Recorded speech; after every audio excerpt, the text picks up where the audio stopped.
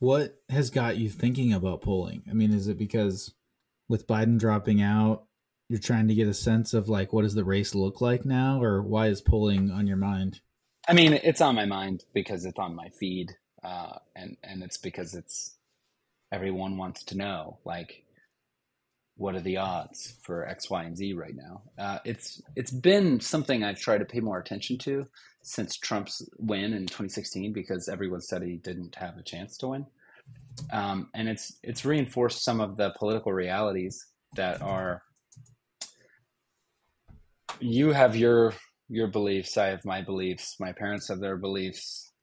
Everyone I grew up with have has their beliefs, and like five states decide who's president.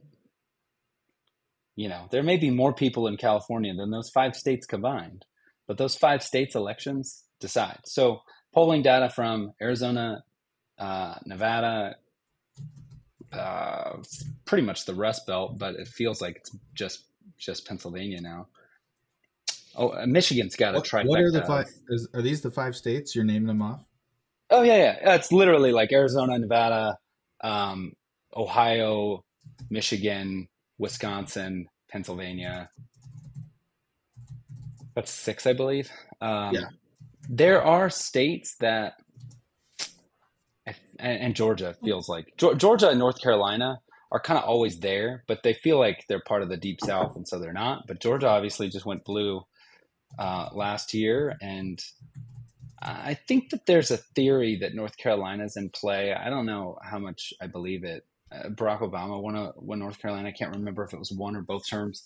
Um, North Carolina's got a, a fairly healthy influx of young, educated people who tend to who tend to vote blue, and to Charlotte in particular. I think there's a couple other cities in the like Research Triangle that have a big draw. Um, Texas has shifted considerably more blue over the last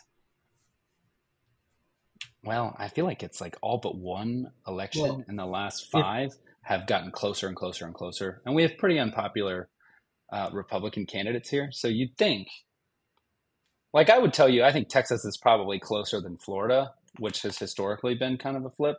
But I mean, if Texas went blue, isn't that kind of it? Because Texas yeah, is like the biggest. Well, I mean, no, it would just be it would be weird if for Texas to go blue and like Arizona not to.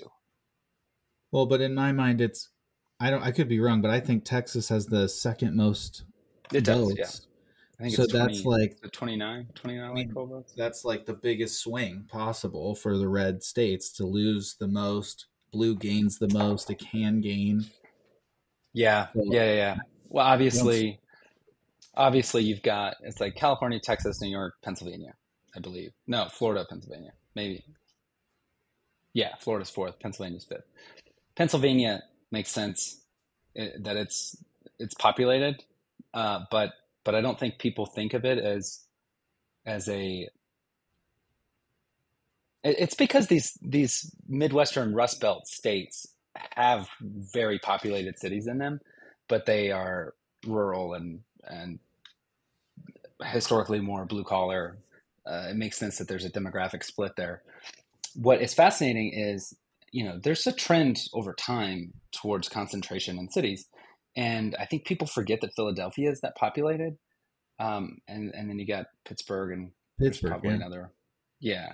So, like, if they've got an NFL team, a bunch of people live there, except Green Bay. Like, what whatever with those guys. So Texas is trending the same way. It's it's just a question of there are mechanical uh, disenfranchisement eh, issues that I think occur here maybe more than than other places, but but I haven't personally had trouble voting, so I'm trying to think about it. I think there's and this goes to kind of the second point, which is, is true for both polling and and kind of just elections in general is that if if there's a premise that is believed by everyone that like this will not go this way, it does not matter, then you know people who are underdogs, so to speak, are less likely to to vote. So it tends to come down to those five or six states for a couple of reasons, but but it's also worth noting that because they're historically swing states, they they tend to get a lot of turnout. So you've got that makes sense, yeah, because you feel like your vote matters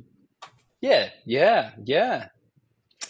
Um, if you think if you think that everybody in Texas hates Ted Cruz and they're not voting because that's not true, you're wrong. They're not voting because they're like, well, it's never going to change. He's like he's like the least popular senator in the last 20 years and and uh, just keeps winning. I don't know. Yeah. I don't know though. It's and and this goes to another thing is this like narrative events that take place that are outside of of directly affecting presidents. Like I think that those things start to play a bigger and bigger part. Like Texas has Texas has uh, a pretty rough history in the last couple years with with um, energy infrastructure, which is right indirectly the result of actions taken by our governor prior to him being governor when he was working for ERCOT, which is the I don't know what it is. It's like the utility infrastructure management company. Let's call it that. That's probably not the right term. Um, well, and then you know Ted Cruz runs off to Mexico when we've got power outages and and all that terrible. stuff has happened twice in the last like three months. Yeah, like there's been people in Houston without electricity for a week. It's, pro- it's probably been two, but I am assuming that most of them have power again now. I don't know, but those things resonate with people when they're when they're formerly not motivated. Now I'm going to show up